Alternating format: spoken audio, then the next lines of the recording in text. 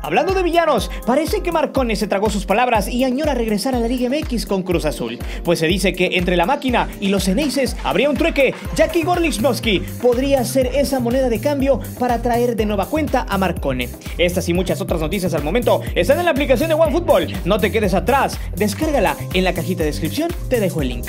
Besos en el aro de cebolla a Alex Telles hasta Matamoros, Tamaulipas. Juan Manuel a su fábrica de frijoles. Joshito Game. Iker Asdi hasta Tlalnelacra, Estado de México. Daniel Méndez hasta Coatepec Coffee. Moisés Orozco a su siempre sucio hasta Tijuana. Urbano hasta Morelia, Michoacán. Lalo Romero hasta Mérida, Yucatán. Y a Baiza hasta Veracruz. A todos ustedes y a toda la comunidad les mando fuerte abrazo con carpa de circo incluida.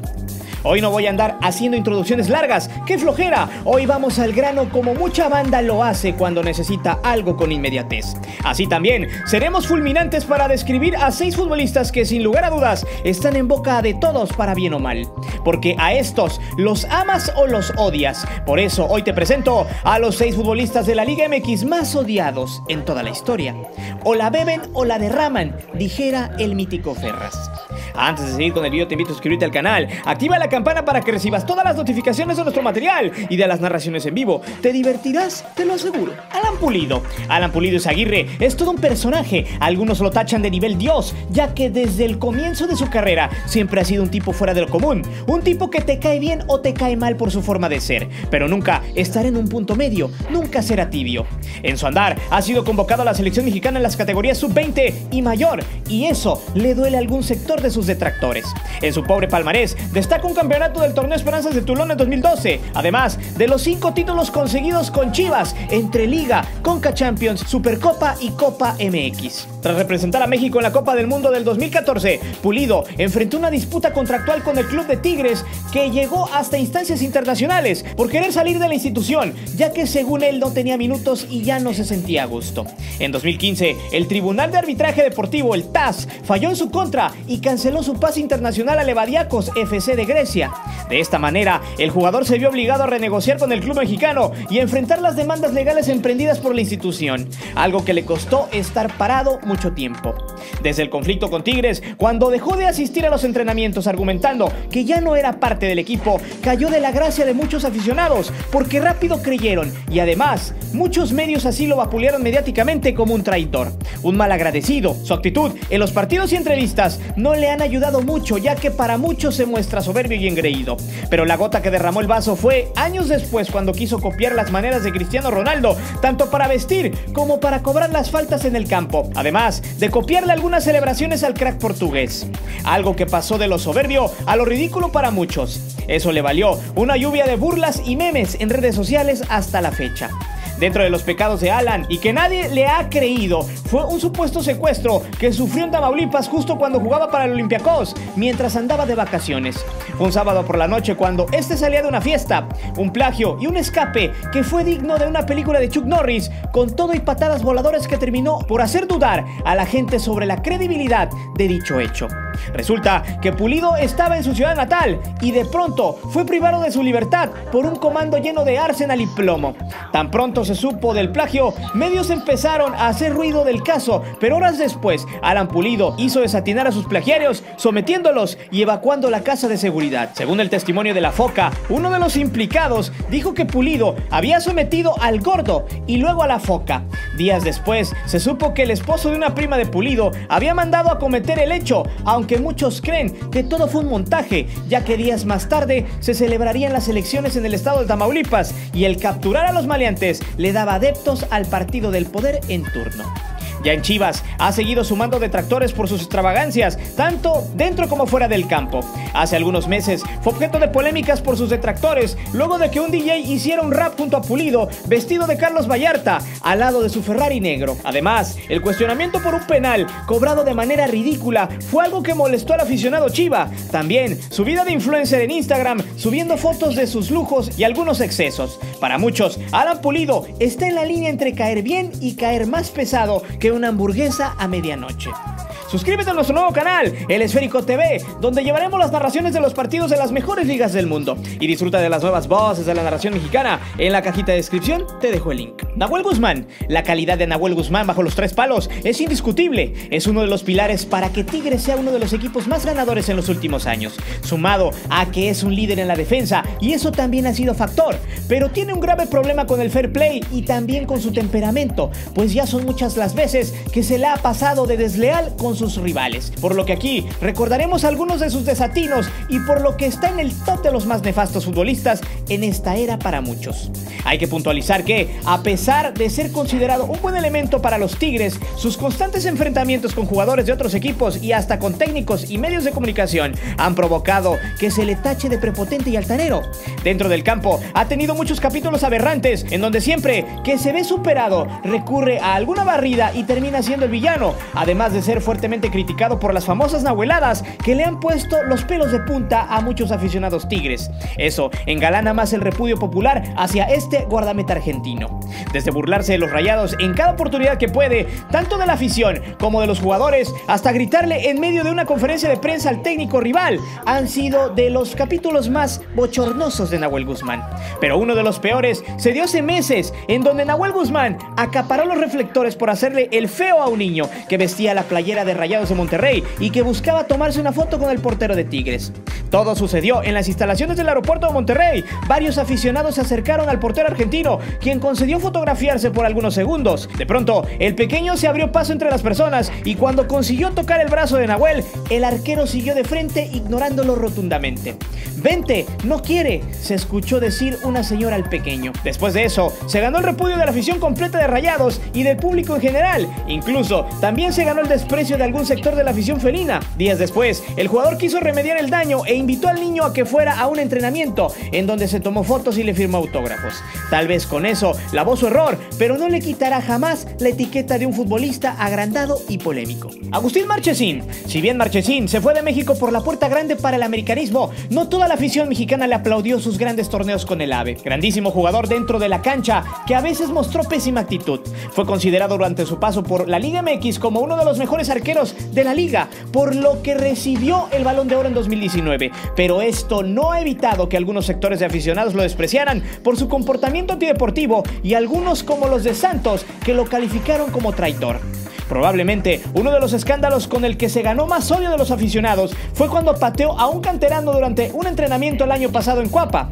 Este suceso se dio de cara al encuentro que sostendían ante Monarcas Morelia y para mala suerte del portero, este fue captado por una cámara y se hizo viral. El arquero argentino disputaba una práctica cuando el juvenil Arturo Sánchez trató de quitarle la pelota por lo que Marchesín le tiró una patada artera sin disputar el balón.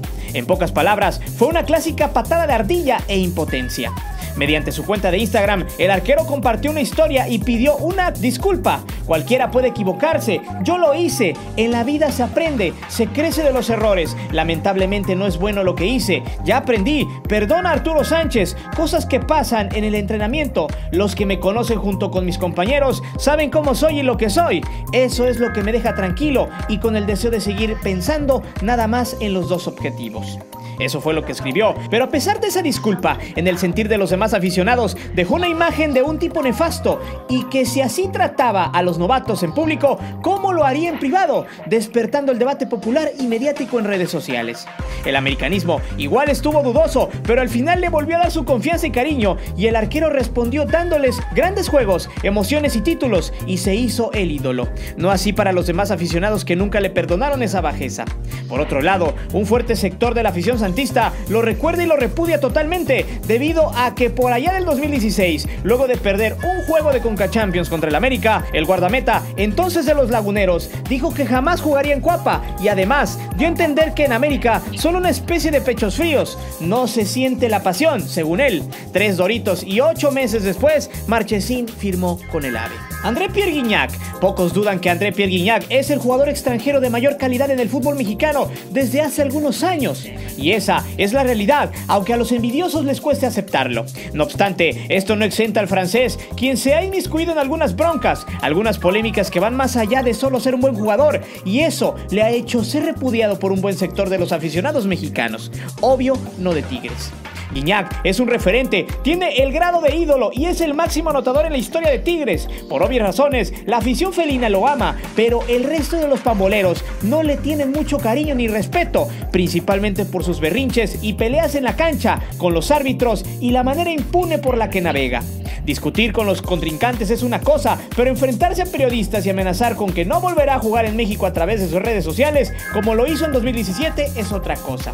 En la fecha 7 del clausura 2017, Tigres goleó 3 a 0 a Veracruz en el Pirata Fuente, pero lo lamentable vino en las tribunas, donde aficionados escualos agredieron a sus pares felinos, desatando la ira de Guiñac, del Tuca y de varios jugadores de la cancha. Y es que el delantero estuvo muy eufórico para aplacar a la gente y lanzó un que se vayan a segunda, en alusión a los tiburones rojos y su lucha por la salvación. Ahí fue donde explotó una bomba que se veía venir. Tiempo después, Guiñac sumó otra polémica y que hizo que ahora se ganara el odio de los Cruz Azulinos, dándose en el Apertura 2019. Tigres y Cruz Azul se enfrentaban en el Uni, los celestes ganaban 1-0 y parecía que se llevarían los tres puntos, pero sobre el final, Guiñac marcó el gol del empate, celebrándolo de manera eufórica. Al término del juego, el francés se enfrascó en una pelea con José de Jesús Corona, al cual llamó hijo. Durante todo el juego, arquero y delantero se picaron, en cada jugada se decían de cosas a la distancia y al final fue Guiñac quien le cantó el gol en la cara a Chuy. Sin embargo, la riña siguió al entrar al túnel que llevaba a los vestidores, pues ahí se volvieron a encarar y participaron más jugadores de ambos equipos, entre los que se encontraron Minto Caraglio de la máquina y Guido Pizarro por parte de los felinos, hasta que otros elementos intervinieron para calmar los ánimos, entre ellos Robert Dante Siboldi. Guiñac es un gran jugador, pero a veces peca de bocazas y termina llorando, según sus detractores, quienes lo han apodado Niñac. Nico Castillo. Nico Castillo estuvo a nada de ser un ídolo. Inclusive, algunos aficionados se tatuaron al delantero chileno por su ambiciosa trayectoria en CU, a tal grado de aplaudirle una declaración que hacía referencia a que si volvía a México, lo haría con Pumas. Sin embargo, Castillo y su ambición terminó llevándolo a la perdición y al repudio popular de los aficionados universitarios. Castillo quedó en una encrucijada luego de llegar al América tras su efímero paso por el Benfica y durante su estancia ha tenido que lidiar con la afición del América para que se olvide de las críticas que algún día lanzó cuando era jugador auriazul. En el Apertura 2017, Águilas y Felinos se enfrentaron en el Estadio Azteca. Los de Cuapa vencieron 2 a 1 a los Pumas y la polémica no faltó.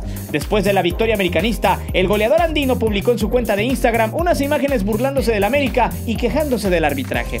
Meses después, en los cuartos de final del Clausura 2018, Castillo volvió a remeter contra las Águilas y Miguel Herrera. En la vuelta, disputada en el Coloso de Santa Úrsula, mientras el técnico azul crema daba la conferencia, el entonces delantero de los Pumas gritó: ¡Pio ojo, que ya te den la copa. El América había eliminado 6 a 12 del global a los del Pedregal.